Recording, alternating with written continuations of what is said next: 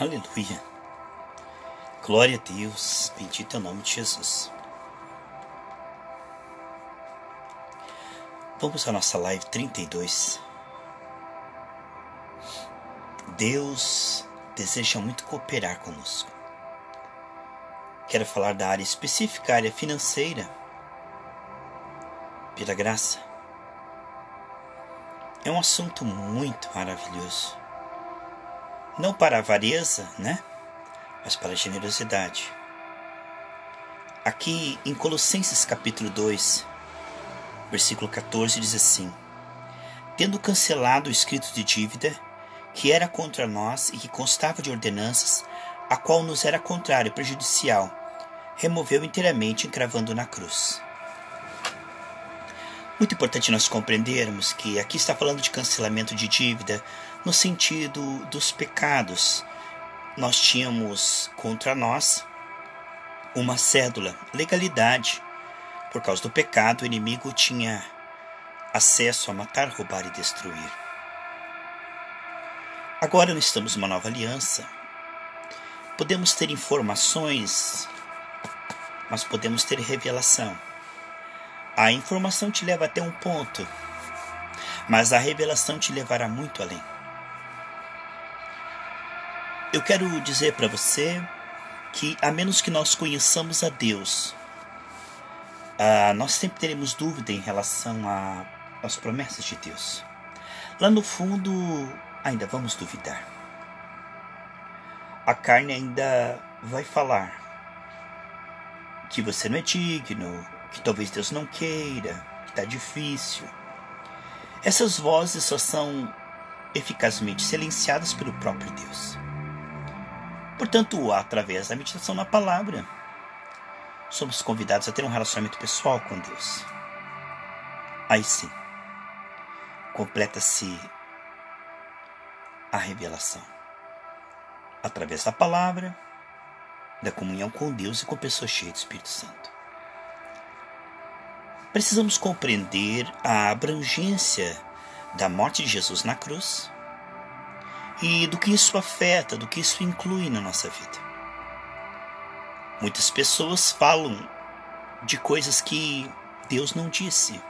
Interpretam errado a Deus as Escrituras de forma mental. Não tem uma comunhão com Deus para ter revelação e extrair das Escrituras o real sentido e a abrangência da cruz de Cristo. É um mistério, amados, que é revelado aos humildes, aos seus amigos íntimos. Portanto, antes de irmos à palavra, vamos ao Senhor da palavra. Senhor, em nome de Jesus, pedimos ao Senhor perdão pelos nossos pecados, que o Senhor nos conduza a níveis mais profundos de arrependimento, de fé, de adoração e de misericórdia. Que através dessa meditação possamos ser transladados para a esfera da revelação e transformação. Pois a tua palavra é espírito que dá vida não apenas informação religiosa. Ajude-nos, meu Deus, a compreender com a ajuda do Teu Espírito Santo, a ponto de realmente praticar isto. Amados e queridos irmãos, é muito importante compreender que Deus deixa muito claro nas Escrituras o que Ele pensa a nosso respeito, como Ele diz em Jeremias 29:11, pensamentos de paz para dar nós um final feliz. Estamos num mundo caído sob os efeitos da queda. Adão e Eva nos colocaram numa situação que é bem diferente da criação original. É o que o mundo se tornou. Quando Deus criou o homem, ele o criou por último. Colocou num jardim da abundância, o jardim do Éden, das delícias. Ali eles tinham comunhão com Deus, saúde, alegria. Esta é a perfeita vontade de Deus. O homem, ao se entregar ao inimigo, Deus disse: Por causa disso, a terra é amaldiçoada e produzirá com escassez. E sob essa maldição, com suor, você vai tentar produzir, mas terá espinhos e cardos. Temos aqui então os efeitos da queda que não tem nada a ver com a vontade de Deus. O homem mudou, mas Deus não mudou. Jesus Cristo vem em João 10, 10 e diz: Eu venho para que vocês tenham vida e vida com abundância. Essa vida abundante, primeiramente, é interior, é paz, é amor, é alegria. Caráter, imagem e semelhança. mas também afeta as circunstâncias. Isso está muito claro se você ler em Mateus capítulo 6, a partir do versículo 25 em diante, onde diz: Não estejam preocupados com o que comer, com o que vestir. Ele diz: Buscai o reino de Deus e essas coisas serão acrescentadas, mostrando que Deus certamente é, sabe que o homem tem necessidades econômicas. No Salmo 35, 27 diz assim: que Deus tem prazer na minha e na sua prosperidade. E Provérbios diz que a pobreza é a destruição do pobre. Pobreza não é pecado, é apenas um ponto de partida, é um efeito da queda. Porque o nosso Pai é Jeová Jiré, e ele diz claramente no Salmo 23 que o Senhor é meu pastor, nada me faltará. Se compreendermos que a prosperidade foi incluída na cruz de Cristo, amados, é muito importante compreender que Cristo na cruz não levou apenas os pecados. Em Isaías 53, o castigo que nos traz a paz estava sobre ele.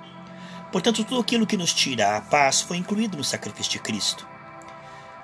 Quando nós compreendemos que Jesus levou a falta de recursos, em Efésios 1,3 diz que ele nos abençoou com toda sorte de bênçãos nas regiões celestes. A Bíblia diz claramente em 2 Coríntios capítulo 1, 19 e 20 que todas as promessas que tem de Gênesis e Apocalipse têm em Cristo sim o amém. Isto é presente, o Novo Testamento é graça. Tudo é de graça, tudo é presente. Pelos méritos do sangue derramado por Jesus. Muitos pastores dirão a você que a cura divina é de graça, a salvação é de graça, mas que a prosperidade tem a ver com o dinheiro. Não, meus irmãos. Não, meus irmãos.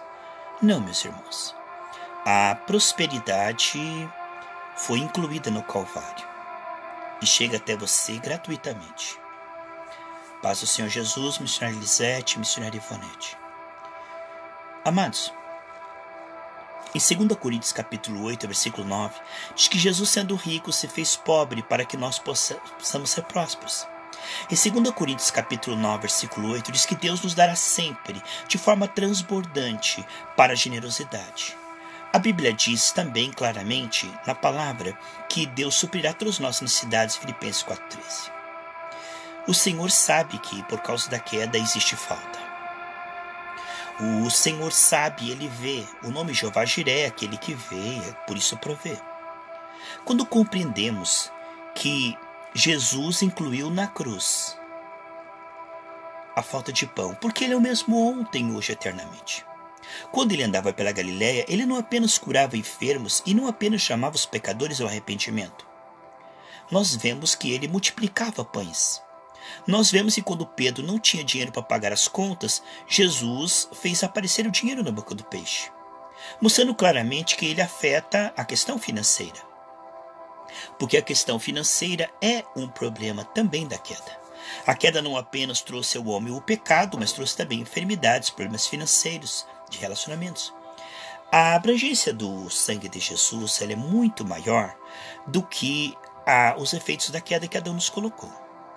Nós vemos, amados, em Romanos 5,17, que assim como a morte reinou pela desobediência de Adão, lá ele diz assim: muito mais os que recebem Cristo receberão a abundância da graça e o dom da justiça. Nós não podemos pensar que o sacrifício de Cristo é uma fraude ou que seja algo limitado. A abrangência da morte de Jesus inclui todas as áreas. Muitos pregadores dizem que não que você está amaldiçoado financeiramente se não der dinheiro. Dizendo que Jesus não redimiu as suas finanças, que as suas finanças não foram incluídas no sacrifício de Cristo. Que tudo é de graça, menos a bênção financeira. Que tudo no Novo Testamento é graça, mas a área financeira volta lá para a lei. Isto é realmente um grande absurdo. Isso é realmente algo que não tem cabimento, meus amados. É chamar o sacrifício de Cristo de limitado. Isto é ofender o sacrifício de Cristo, chamá-lo de imperfeito e realmente algo diabólico. Há espaço para as boas obras no Novo Testamento? Para galardão, nós somos salvos para as boas obras. Há espaço para ofertar com generosidade como filho, se vendo em Cristo salvo, herdeiro. Agora, com gratidão, quero que esse evangelho alcance mais pessoas. Então há espaço para semear no reino de Deus e ver a multiplicação, não por avareza, mas com alegria. Deus ama o que dá com alegria. Tudo que você faz já vendo-se em Cristo aceito, amado, próspero, salvo. Tudo que você faz com gratidão, com alegria, será recebido por Deus. Agora, todo o dinheiro que você dá para ser abençoado é amaldiçoado. Porque você parte do princípio, se não der, eu não vou ser abençoado. Quando na verdade a Bíblia diz que você já é abençoado. Então você está tentando ser abençoado, você está dizendo que Cristo não te abençoou. Isso não é um mero detalhe. Isso faz toda a diferença. Alguém que, com alegria, eles separam uma parte do seu salário para ajudar a obra missionária, o órfão, viúva. Deus se agrada. Tem galardão, está nos livros celestiais. A Bíblia diz que nem um copo de água fria que você der será esquecido de Deus. Então toda boa obra que você faz, já se vendo aceito, amado, abençoado, Deus multiplica. Mas todo o dinheiro que você dá para repreender o devorador, para tirar a maldição da sua vida. Porque o pastor falou que se você não der, você vai perder a salvação. Se você não der, é, Deus não vai te abençoar. Tudo isto amaldiçoa a pessoa. Quando você quer quebrar a maldição financeira, você é amaldiçoado, porque Jesus na cruz quebrou toda a maldição. O sacrifício dele foi tão completo que ele usa uma palavra grega chamada tetelestai. Então a pessoa comprava por mês com uma caderneta, quando chegava no final do mês ela pagava tudo, então se carimbava tetelestai, quer dizer está quitado, não deve nada. Jesus pagou para que você seja próspero, isso é uma herança. Quando você entrou na família de Deus e recebeu o DNA de Deus, você passou a ser herdeiro. E o herdeiro não tem que pagar nada para ser herdeiro. Ele entra na família, tudo que é da família passa para ele automaticamente, gratuitamente. Portanto, o Novo Testamento é algo que você não paga para merecer ou para receber. É tudo gratuito. Jesus diz: de graça receber, de graça dai. Quando nós compreendemos que nós somos herdeiros em Cristo, quando nós compreendemos que somos aceitos, salvos, não só salvos do inferno, mas salvos das dívidas, salvos do desemprego, salvos da crise, salvos da falta de recurso financeiro. Quando nós compreendemos que a área financeira foi incluída na cruz do Calvário e que a bênção da prosperidade é um presente de Deus para você e que está incluído no sacrifício de Cristo, quando você recebe Cristo, você tem crédito ilimitado diante de Deus. Você entra na família e passa a ser herdeiro. Você não deve um centavo para Deus. Você não tem que dar um centavo para Deus te abençoar. No momento que você recebe Jesus, você se torna abençoado para sempre. É, você recebe o dom da prosperidade gratuitamente. Você não tem que dar um centavo para Deus te abençoar. O que você der é porque você está agradecido, porque você quer que esse evangelho alcance mais pessoas. Se envolve dinheiro, né? Você dá porque você realmente ama a obra do Senhor. Mas se você não dá, porque senão o devorador vai vir para cima de você, porque você vai ser amaldiçoado, porque você vai perder a salvação, porque você é ladrão. Não pode ser ladrão, sabe por quê? Quando eu me torno herdeiro, tudo que é de Deus é meu, tudo que é meu é de Deus. Eu não posso ser ladrão porque tudo que eu tenho vem de Deus. Ou seja, nós só devolvemos com amor, né? Então veja bem, quando eu entro na família de Deus, não é questão de dar 10%. Você pode até dar se você sente alegria e amor. Mas tudo que é teu é do Senhor. O teu corpo, a tua alma, o teu tempo. E 100% do seu dinheiro é de Deus. Você é só mordomo. Ele te dá para você administrar. Mas você pede direção dele com que gastar. Porque o dinheiro não é teu. Teu salário não é teu. Teu carro não é teu. Tua casa não é tua. Tudo é consagrado ao Senhor. Tudo pertence ao Senhor. E quando tudo é do Senhor e você é mordomo, você começa a prosperar. Porque você entende que tudo que é teu pertence a Deus e não corre perigo, já é abençoado. Muitos pastores dirão a você que você não será abençoado se você não fizer sacrifícios financeiros, se você não der todo mês dinheiro na igreja. Eles estão mentindo para você. Eles estão jogando você lá para o Antigo Testamento, lá para Malaquias. Mas se é para voltar para o Antigo Testamento, então Cristo morreu em vão. Eles dizem para você que você tem que dar dinheiro, senão você vai ser amaldiçoado que se você quer ser abençoado, você tem que começar a dar dinheiro na igreja. Eles estão mentindo para você. Eles são falsos profetas. Estão sendo guiados pela avareza. E aí eles despertam no povo uma avareza. Eu vou dar para Deus me Um púlpito avarento gera um povo avarento. Mas um púlpito generoso vai gerar um povo generoso. Um púlpito amigo de Deus vai gerar um povo amigo de Deus. Portanto, na nova aliança, tudo é de graça e tudo foi incluído no sacrifício de Cristo. Nenhuma área ficou descoberta. O sacrifício de Cristo é todo inclusivo. Ele incluiu a tua saúde, as tuas finanças, a tua alma, a tua família, tudo. não ficou nada de fora para ser completado. Não acredite que Deus quer ver você endividado, ou que Deus não vai abençoar você se você não der dinheiro. Isso é mentira. Quando Simão quis dar dinheiro para Pedro, dar a ele o dom, ele disse: Se você pensa que compra as coisas de Deus com dinheiro, dinheiro tem a ver com Judas, não com o Evangelho de Cristo. Quando nós compreendemos, amados, muitos pastores dizem: Pastor, mas se eu não falar assim, o povo não vai dar, a igreja vai fechar. Não é verdade. Quando você gera um povo que ama Deus, o povo vai ofertar, vai sim, mas não para ser salvo e abençoado mas por gratidão, porque Cristo salvou e eles querem que esse evangelho da graça alcance mais pessoas.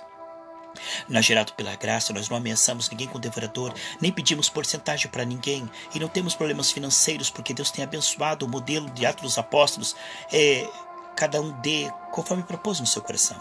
Não há no Novo Testamento nenhuma obrigação com porcentagens. Três vezes no Novo Testamento se fala de dízimo. Não há nada errado você dar 10%. O problema é como os pastores pedem.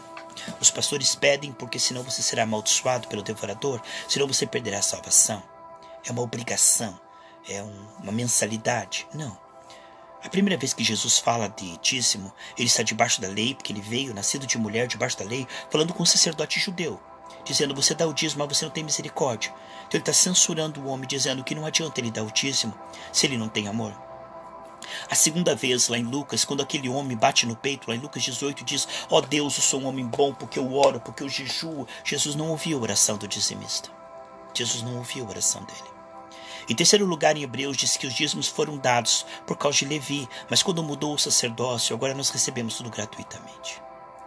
Então, amados, nós precisamos compreender a nova aliança e a contribuição da nova aliança, que não tem nada a ver com a lei que não tem nada a ver. Abraão deu o dízimo antes da lei. Você quer ir para a guerra e matar as pessoas e pegar. E ninguém obrigou Abraão a dar nada. Ele deu porque ele quis. E não deu mensalmente, ele deu uma vez só e foi despojo de guerra. Você vai para a guerra agora e vai dar o dízimo? Isso não tem cabimento, irmão. Isso é outra, outro tempo. Nós estamos agora na lei e ao corpo de Cristo não é dito nenhuma vez. Quando foi repassado para a igreja as obrigações do Antigo Testamento, não foi repassado nem a guarda de sábado nem o dízimo não foi repassado. Só foi repassado que não coma carne com sangue, não participe da idolatria e livre-se da fornicação. Só isto. Portanto, precisamos compreender, amados, que na nova aliança as pessoas são filhos e herdeiros automaticamente. Você recebeu a Cristo, você passa a ser filho e herdeiro automaticamente. Isso não envolve pagamento de nenhum centavo. Não é uma transação financeira, é algo familiar. O reino vai avançar a terra e nós amamos o reino de Deus. Quando compreendemos que Deus nos ama e que na cruz nos redimiu da falta de dinheiro, que isto é um presente de Deus e que isso foi incluído na cruz do Calvário. Quando compreendemos, meus amados, que o nosso Deus Jeová Jiré não precisa de dinheiro, nem a obra dele precisa de dinheiro, porque ele levanta pessoas generosas para suprir, não tem que ameaçar, não tem que gritar, não tem que colocar debaixo de maldição. As coisas de Deus não é por força nem por violência, mas por amor. Deus ama o que dá com alegria. Portanto, você recebe não o que você dá no altar, você recebe o que Cristo deu lá na cruz do Calvário. Você é próspero porque Cristo pagou para que você seja próspero. E agora, já próspero, você pode contribuir com alegria, mas não tem nada a ver com ser abençoado. Isso vai computar como galardão, como multiplicação, mas não como bênção. Não tem como você ser abençoado com dinheiro, porque Cristo já te abençoou, porque você já é abençoado, porque você já foi aceito e é membro da família de Deus. Você é herdeiro. Você é filho de Deus, de forma que agora você tem o DNA de Deus. Segundo Pedro diz que Deus nos deu a sua natureza. Portanto, você entrou na família de Deus, recebeu o DNA de Deus e toda a herança de Deus passou a ser sua em Cristo Jesus, por causa do sacrifício de Cristo. Agora, os pregadores dirão para você que não. Não, não é assim. O pastor está mentindo. Se você não der dinheiro, você será amaldiçoado. Então as pessoas ficam imaginando: eu vou ser amaldiçoado. Esse mês eu não pude. Ai, eu vou ser amaldiçoado. Ai, porque o devorador. E ficam esperando o mal. Como de Jó 3,25: O que eu esperava de mal me veio. Então ele gera uma fé de medo, uma fé baseada na escravidão, na legalidade. Mas nós estamos no Evangelho da Graça. Paulo diz que se alguém pregasse outro evangelho que não fosse o evangelho da graça, é amaldiçoado. Então esses pastores estão amaldiçoados e amaldiçoando o povo de Deus, colocando o povo de Deus debaixo da lei. fazendo com que o povo tenha que ser abençoado à maneira do Antigo Testamento, quando na maneira do Novo é bem diferente, meus amados. Quando nós compreendemos que Muitos cristãos que confiam na sua contribuição estão endividados, porque eles dão 10%, mas depois não sabem administrar os 90%, gastam errado, porque eles acham que aqueles 90% é deles. Mas na verdade, a nova aliança 100% é de Deus. Não da igreja local, não é você pegar o teu dinheiro e dar na igreja local. Falando de Deus, para você administrar conforme Deus te mostrar. Seja naquele mês para ajudar um órfão, a viúva, uma cesta básica, isso é Deus que vai dirigir caso a caso. Nós não podemos fazer como muitas pessoas dizem: não ajude a obra missionária, ajude apenas o pobre, o necessitado, cesta básica. Isso não é verdade. Judas falou assim: Por que vocês estão gastando esse dinheiro com Jesus, esse perfume tão caro? Deus pobre, Jesus disse: Os pobres sempre terão convosco. Ainda que você pegue todo o seu dinheiro, irmão, e vá dando tudo para os pobres, tudo para os pobres. Se o evangelho não for pregado, eles vão para o inferno. O mais importante na terra não é os pobres, o mais importante é a salvação. A, tirar da pobreza é secundário. Buscar o reino de Deus, as coisas serão acrescentadas. Muitas pessoas o que elas precisam é se voltar para o evangelho, serem salvos, serem filhos, serem herdeiros. Não é você ficar todo mês dando uma cesta básica, alimentando elas longe de Deus.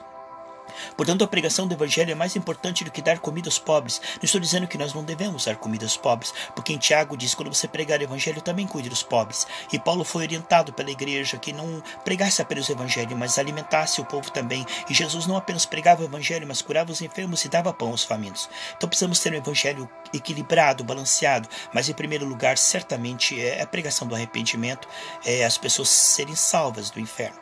Portanto, essa ideia de que, que as igrejas todas fechem e então é, vamos parar de ajudar a obra missionária e vamos dar tudo para os pobres, só para os pobres, só para os pobres. É claro que existem pastores mercenários que não merecem esse dinheiro, que a igreja tem que fechar, que vendem a palavra, que fazem comércio da fé, que ficam de envelope, que ficam ameaçando o povo. Essa igreja tem que fechar, mas as igrejas sinceras que pregam o evangelho gratuitamente, elas são importantes porque a, a, a pessoa que chegar lá, ela não vai receber só o pão, não só a roupa, né, ela vai receber o evangelho da salvação e as portas não podem fechar. Portanto, se nós é, redirecionarmos todo o dinheiro só para os pobres e as igrejas fecharem as portas, os pobres terão comida, mas não terão a pregação do evangelho. Ah, mas se prega nas casas, como é que você vai saber qual casa? Como é que você vai levar as pessoas cada dia numa casa? Então é maravilhoso que tenha um lugar físico com endereço para que as pessoas possam ir e possam receber. Muitos são contra isso, são contra por causa do, do comércio da fé. Mas assim, eu não estou incentivando o comércio da fé, estou dizendo que a igreja do Senhor deve existir e os pastores devem comer, é, não de forma exagerada, com salários altíssimos, mas o pastor também deve ter uma vida digna, o digno é o do seu salário e o Deus é o seu patrão e aquele que distribui as coisas espirituais deve receber coisas materiais. E se o pastor de manhã, de tarde, de noite, de madrugada está pregando o evangelho, que mal tem a comunidade ajudá-lo financeiramente. Então nós vemos e muitos usam o caso de Paulo que diziam, mas Paulo ele trabalhava porque o pastor ele não queria ser pesado, ele trabalhava, meus irmãos, porque as igrejas não ajudavam ele financeiramente. Veja só, agora vamos usar o exemplo da avareza daquele povo para incentivar que o pastor tem que ficar trabalhando secularmente, não possa atender o povo, não possa orar, porque ele vai ficar trabalhando enroscado com as coisas seculares. Então veja bem, Paulo ele trabalhou porque as igrejas não estavam ajudando ele financeiramente, mas assim que ele recebeu a ajuda da igreja de Filipos, a única que o ajudou, ele parou de trabalhar, parou de construir tendas e entrou integral no ministério. Então é tão bom quando uma igreja local pode manter um pastor integral, pois assim ele pode se dedicar de manhã, de tarde, de noite, de madrugada somente para as coisas espirituais, estar cheio do Espírito Santo para poder ajudar o povo. Então eu sempre trabalhei, irmãos, desde os meus 12 anos. Eu trabalhei, eu nunca quis ser pastor, eu nunca quis trabalhar no ministério, jamais eu quis ser ajudado pela obra. Eu não queria, o que eu queria era trabalhar e ajudar a obra, sabe? Eu é, nunca quis jamais ser pastor e, e, ser integral. Isso eu nunca passou pela minha cabeça, jamais, jamais, jamais, jamais. Eu disse, Deus, eu vou trabalhar e vou ajudar na obra. O Senhor falou, eu quero você no ministério. Eu disse, não, Senhor, eu vou, eu vou trabalhar e vou ajudar na obra, porque eu trabalhei dos 12 meus irmãos. Até os 30 anos eu trabalhei. Aí eu falei, Senhor, eu quero continuar trabalhando e ajudando a obra. Eu quero jamais, eu quero tirar um centavo da obra. O Senhor falou, eu quero você na obra. Irmãos, eu falei que não. Eu caí doente, irmãos. Quando eu caí doente e voltei, eles me mandaram embora. Quando eles me mandaram embora, eu comecei a receber auxílio-desemprego, comecei a visitar hospitais, asilos, comecei a orar, comecei a ajudar nos cultos de tarde, de noite, enquanto eu recebia auxílio-desemprego. E aí, né, eh, o, o pastor que estava lá na igreja viu atendendo as pessoas, visitando as pessoas, ele falou assim: Sabe, eu tenho visto que você tem se dedicado bastante, a gente quer dar uma ajuda de custo para você, tá bom? Eu falei: Não, não, não, não, não, não, não, Senhor. Não, não, é, eu não quero. Aí Deus falou assim: Eu não falei com você? Eu falei mesmo, Senhor. Aí, irmãos, eu comecei sem nenhuma pretensão, jamais. Sem nenhum interesse. Nunca foi por dinheiro, irmãos, que eu prego o evangelho. Deus conhece meu coração. E aí, meus irmãos, olha, isso começou em, em 92. Nunca mais eu trabalhei no serviço secular, nunca me faltou o pão, nunca me faltou nada. Quando a igreja local lá estava com dificuldade financeira, sem que eu abrisse a boca. O irmão chegava, me ajudava, outro irmão chegava, me ajudava, outro irmão, ó, Deus mandou, Deus mandou, sempre Deus supriu. Hoje a gente começou já há sete anos gerados pela graça e, e nunca faltou, irmãos. É maravilhoso, mas eu nunca fiz isso por dinheiro, com intenção de ganhar dinheiro, porque Deus, Ele conhece o coração. Não adianta eu falar aqui para você tentar te enganar, porque Deus conhece o coração. Então eu quero dizer para você que se na sua cidade existe um pastor sincero, não precisa ser perfeito, mas se ele é sincero, ajuda ele. Sabe, se você se ele for avarento, se ele vende a palavra de Deus, se ele faz comércio, igreja que faz comércio não participa, irmão. Jesus fez o Zohag e falou assim: não façam comércio na minha casa. Então, se o seu pastor tem bazar, diga para ele parar com isso. Roupa é para dar de graça para os pobres, não é para vender. Irmãos, olha só. Cantina não pode ter comida vendida. Jesus não permite carregar mercadoria, ele proibiu. Portanto, comida é para dar para os irmãos comer de graça não é para vender nada. Igreja não é lugar de venda de livros, de Bíblia, de nada. Igreja é lugar de tudo ser de graça, sabe? Olha, onde tudo é de graça, Deus abençoa. Se não entristece o Espírito Santo, ele sai. Igreja que o púlpito fica pedindo dinheiro, igreja que o púlpito fica é, forçando o povo a dar dinheiro, igreja que fica só falando de dinheiro, irmãos, não é uma igreja espiritual. Esse pastor é avarento, vai gerar pessoas avarentas. Você tem que orar a Deus e pedir, Senhor, me mostra na minha cidade um pastor que não ame o dinheiro. Porque se ele amar o dinheiro, irmãos, a vida dele não vai passar unção para você. Uma das tentações de Jesus foi essa, né? Ele ofereceu todas as riquezas, Jesus falou que não. Então, irmãos, quando o pastor ele prega pelo dinheiro, ou ele só fala em dinheiro, ou ele quer tirar o teu dinheiro, esse tipo de pastor, ele não passa coisa boa para você. Ele não passa o espírito correto. A Bíblia diz graça receber e de graça dai, né? Então é de graça. Quando nós compreendemos que a prosperidade é um dom de Deus, quando nós compreendemos a paz do Senhor, missionária Elisete, missionária Kátia, quando nós compreendemos, meus queridos irmãos, que Deus tem um presente para nós. Lá na cruz ele pagou por isso. Que você seja cheio do Espírito Santo, que você seja próspero e saudável, isso é um presente de Deus para você. Presente não pode pagar um centavo. Então, se é evangelho da graça, tem que pagar, já não é graça. Irmãos, queridos, irmãos, isso faz toda, toda, toda a diferença. A forma como o púlpito lida com a questão financeira e prega a questão financeira vai gerar um tipo de povo. Se você não gerar amigos de Deus, eles podem ter dinheiro, mas não são prósperos. Porque próspero não é só uma questão de ter dinheiro, é uma questão de ter paz, alegria, saúde, vida longa para usufruir esse dinheiro. Então a generosidade é muito importante e desapegar das coisas materiais. Sabe, a pessoa quer tanto dinheiro, tanto dinheiro, tanto dinheiro, que isso acaba sendo uma maldição na vida dela. O coração dela, o tesouro dela vai ser o coração, vai ser o dinheiro, o dinheiro vai estar no coração. O coração não foi feito para o dinheiro, o coração foi feito para Deus. Dinheiro é só uma ferramenta para as boas obras, é só uma ferramenta para você viver dignamente, comprar, viver uma vida é, confortável, abençoada, ajudar outras pessoas. É isso, irmãos. Então o dinheiro é uma coisa boa na mão da pessoa boa, só coisa boa. Muitos dizem, ah, o dinheiro é a raiz de todos os males. Não, o amor é o dinheiro a raiz de todos os males. O dinheiro é uma coisa boa, irmão. Com dinheiro você pode ajudar as pessoas, a você mesmo, a sua família. Não tem nada errado com o dinheiro. Sabe, quando você odeia algo, você afasta aquilo. Tem pessoas que quando você fala em prosperidade, vai, sai, sai. Então aquilo que você rejeita, se afasta de você. Se você não amar a bênção, ela se afasta de você. Então diga, Senhor, eu estou de paz com a prosperidade, eu aceito. Se o Senhor quer me tornar um bilionário, desprendo no meu coração todo o amor ao dinheiro. Se o Senhor quer me tornar um bilionário para bancar as obras mundiais, todo o dinheiro vai ser teu, Pai. Minha conta bancária vai ser sua agora. Só sou um mordomo. Nada é meu. Nada, nada, nada é meu. Eu consagro todo o meu dinheiro a ti, minha conta bancária é tua. Se senhor colocar lá 2 bilhões de reais, não tô nem aí. É teu, é dinheiro de Deus.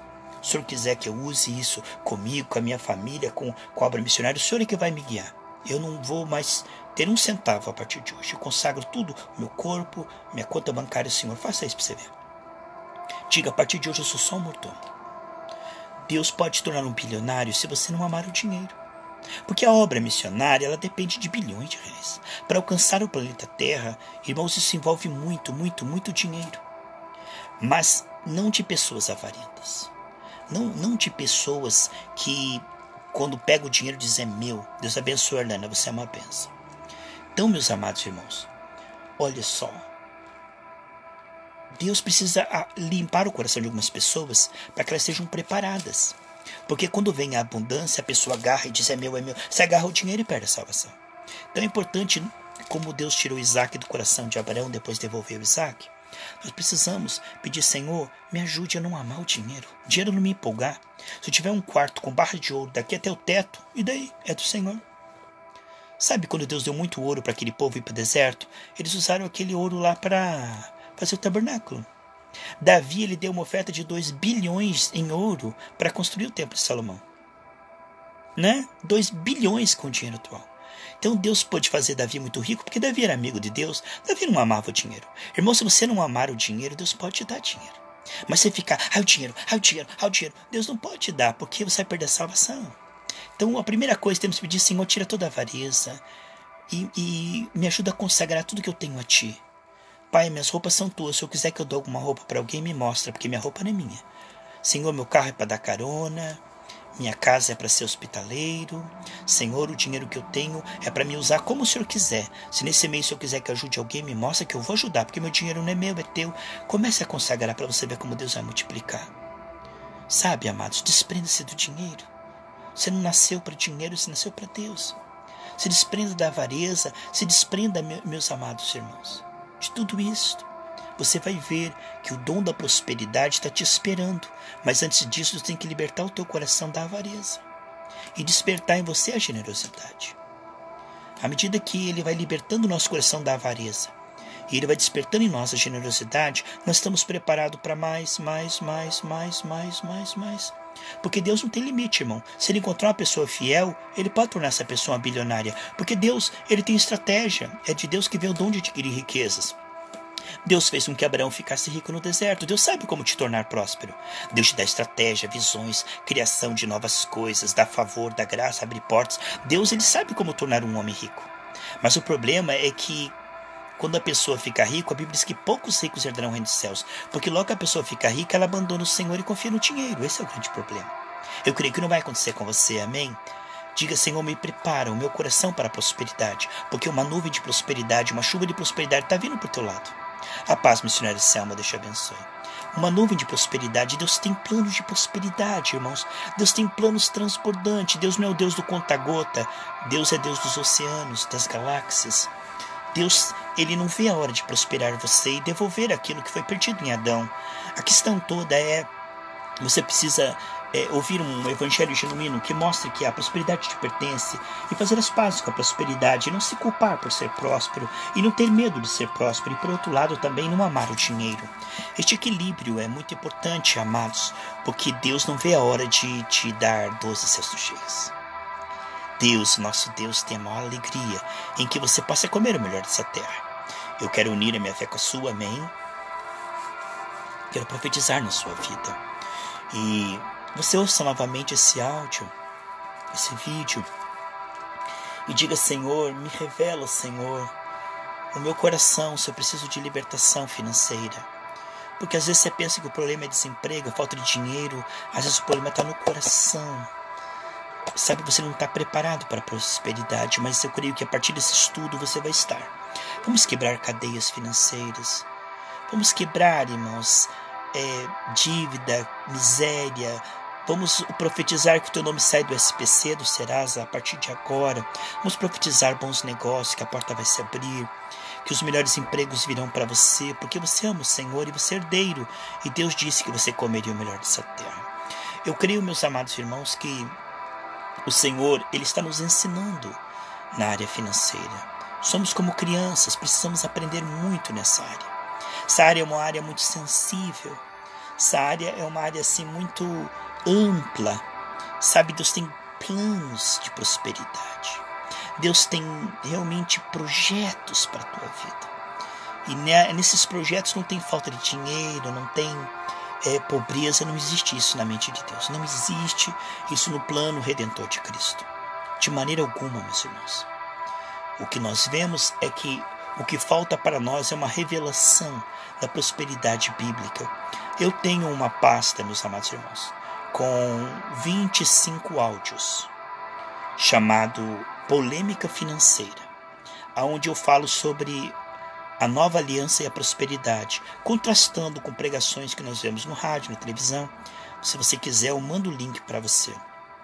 E você vai ouvir, ouvir, ouvir, e vai prosperar, prosperar, prosperar, prosperar. Porque ali você vai aprender que a prosperidade é dom de Deus, é presente, é de graça. Você vai entender que a mente de Deus é uma mente que quer realmente o melhor para você como filho e que tudo isso tem um jeito para chegar até você, tem um trabalhar na sua alma, tem um propósito. A prosperidade é com propósito, e a prosperidade vem com preparo, e a prosperidade vem quando o nosso coração realmente é trabalhado pela graça. Então envolve muitas coisas juntas. Se você quiser, você me pede, eu envio o link com uma pasta de 25 mensagens de áudio chamado Polêmica Financeira. Ali tem muitas mensagens, muitas, muitas, muitas, explicando. Aí você vai ver tudo dentro da Bíblia ali. Você vai ver, meu Deus, eu estava equivocado neste ponto, neste ponto. E você vai ver que, à medida que as dúvidas vão sendo sanadas, a tua fé vai ficando esclarecida na área financeira. E quando a tua fé vai ficando esclarecida na área financeira, você vai começar a prosperar. Porque aí você vai ter uma fé correta. Eu tenho passado já para alguns irmãos, esses áudios são antigos, sabe? Alguns com o pastor Riclave, com o pastor João, comigo. São bastante áudios, né? E você vai investir tempo. Porque quando nós queremos crescer numa área, nós temos que alimentar a fé naquela área. Se você não está na saúde, você tem que ouvir promessas, palavras respeito de cura divina para que você tenha uma fé esclarecida na, na área de cura. Então, na área financeira, você vê quantos cristãos, irmãos endividados, desempregados, vivem dando dinheiro nas igrejas e vivem quebrados porque falta esclarecimento. A Bíblia diz: Conhecereis a verdade, a verdade vos libertará. Então, às vezes, está faltando mais conhecimento da verdade financeira, mais esclarecimento nessa área financeira. E aí eu vou passar para os amados irmãos esses 25 áudios, amém? E você vai ouvi-los à medida que você pode ouve um hoje, outro amanhã, vai ouvindo, ouve de novo, né? E você vai ver que a tua área financeira, ela tem tudo para prosperar. Não importa a situação do país, Deus suprirá segundo as suas riquezas em glórias. Deus não depende da situação do país. No tempo de crise, Isaac prosperou. Se você tem Deus, não importa o país que você está, não importa a situação, se você tem terceiro grau ou não, é, a crise do mercado, não importa. Se você tem Deus, a bênção de Deus não acrescenta dores. Então não tenha medo porque Deus sabe, pode e quer prosperar você. Está na mente de Deus a tua prosperidade. É o grande desejo de Deus que você seja próspero. É o grande propósito de Deus. E para isso Cristo, ele foi lá na cruz. Por isso que ele teve aquela coroa de espinho para levar a escassez, que a terra produziria escassez. Foi por isso, irmãos. Então lembre-se que o nosso Deus é o Deus da abundância transbordante. Tal pai, tal filho. Se Deus é rico, o filho também é próspero. Deus não quer que você tenha necessidade de nada. Deus não quer que você tenha falta de nada. Deus quer que você empreste a muitos. A Bíblia diz assim: que ele diz na palavra dele, né? Você não deverá nada a ninguém. Então não é o propósito de Deus que você esteja devendo. Uma coisa muito importante é você compreender que isso foi incluído na cruz de Cristo. Que isto é herança para você. Pensa assim, isso foi incluído. Diga assim: este meu boleto foi incluído na cruz de Cristo. Pai, obrigado porque esse boleto está pago. Obrigado porque eu tenho dinheiro de sobra. Senhor, obrigado porque todas as minhas contas estão pagas. Obrigado porque minha conta saiu do vermelho e foi para o azul. Obrigado porque meu nome saiu do SPC, do Serasa. Obrigado, Senhor, porque uma porta de emprego melhor está se abrindo, uma promoção. Obrigado porque os melhores clientes estão vindo. Favor, graça, pessoas, documentos, papéis, juízes, leis do país estão mudando. Obrigado, Senhor Deus, porque eu não devo nada a ninguém. Obrigado porque essa profecia está sobre mim. Obrigado porque tudo que eu coloco minha mão prospera. Obrigado porque eu sou próspero. Obrigado porque a unção da prosperidade corre atrás de mim. Obrigado porque diz Deuteronômio 28:2 que a prosperidade, a benção correr atrás de mim. Obrigado, Senhor Deus, porque uma onda de prosperidade muito grande está me perseguindo. Obrigado, Senhor Deus, porque nunca terei falta de nada, mas eu ajudaria muito e prestaria a muitos e abençoaria a muitos. Obrigado, Senhor Deus, porque de nada tenho falta. E se algo está faltando, já está sendo suprido. O Senhor está enviando anjos, os camelos de Deus, a herança do Senhor infalivelmente aparecerá. Obrigado, Senhor Deus, porque o Senhor está vendo e provendo, porque o Senhor incluiu na cruz do Calvário as minhas contas, o Senhor incluiu na cruz do Calvário todas as minhas dívidas. Eu li aqui no início, Colossenses 2, que todas as minhas dívidas foram cravadas na cruz. Obrigado que o Senhor não se esqueceu dessa conta. Obrigado que o Senhor não se esqueceu das minhas necessidades. Eu profetizo a minha dispensa que tenha sobra para ajudar as pessoas que precisam. Eu profetizo, meu Deus, doze cestos cheios. Eu profetizo, meu Deus, que tenho dinheiro para ajudar as pessoas. Eu profetizo que sou generoso generoso, que não ama o dinheiro. Eu profetizo ao meu coração que ele está desprendido de toda avareza. Eu profetizo ao meu coração que ele é do Senhor, do Senhor Jeová Jiré, e que a bênção está comigo em tudo que faço, em nome de Jesus. Amém? Você orou comigo? Ouça novamente esse áudio, esse vídeo e fortaleça-se, esclareça, nutre a tua fé financeira Sabe, alimente, regue a plantinha da tua fé. Você vai ver como você vai prosperar com segurança, sem avareza, sem perder a salvação. Se muitos ricos não perderam a salvação, você não vai perder, porque o teu coração está no Senhor. Porque Abraão foi rico e não perdeu a salvação. Davi foi rico e não perdeu a salvação. O problema não está no dinheiro, o problema está no amor ao dinheiro. Deus te abençoe, um grande abraço. Jesus Cristo te ama. Busca Ele, investe tempo na presença dEle. Louva a Deus pela sua vida que tem investido esse tempo diante desse vídeo. Amém? Louva a Deus porque você tem realmente buscado o Senhor. Você é um abençoado, uma abençoada. Jesus Cristo te ama. Fica na paz do Senhor Jesus Cristo. Que essa unção de prosperidade venha sobre a sua vida. Que essa unção toque todas as áreas da sua família. Seja próspero em nome de Jesus.